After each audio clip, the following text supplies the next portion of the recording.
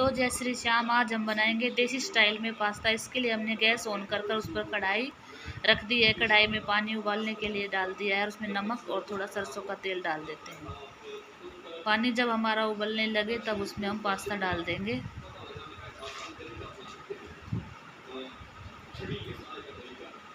और इन्हें अच्छी तरह से पकने के लिए रख देंगे। एक बार इन्हें चला देंगे ताकि ये चिपके ना। जब हमारे पास्ता अच्छी तरह से पक जाए तो उन्हें छलनी में छान लेंगे और कढ़ाई में तेल डालकर कटी हुई प्याज, लहसुन, टमाटर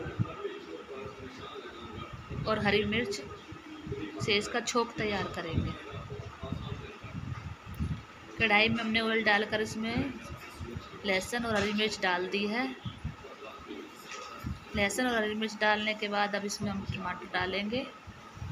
टमाटर जब हमारा अच्छे से गल जाए, इसे चला देंगे। थोड़ा सा इसमें नमक ऐड करेंगे ताकि टमाटर अच्छे से गल जाए। अब इसमें प्याज डाल देंगे और इन्हें भून लेंगे।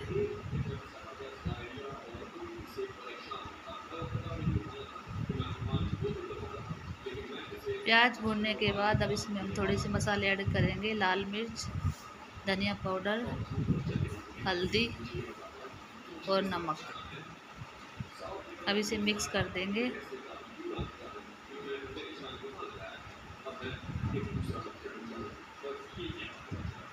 और इसे थोड़ा सा पकने के लिए पानी डाल देंगे। और लो मीडियम गैस पर इसे थोड़ी देर के लिए रख देंगे। अब इसमें हम ये पक जाए तो इसमें थोड़ा सा सॉस डालेंगे।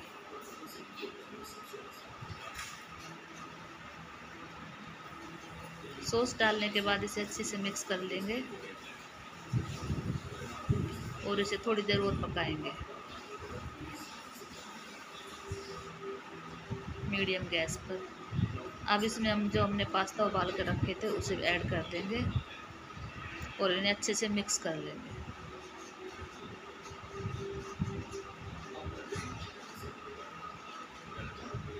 तो लीजिए फ्रेंड, हमारे देसी स्टाइल में पास्ता बनकर तैयार हो गए हैं।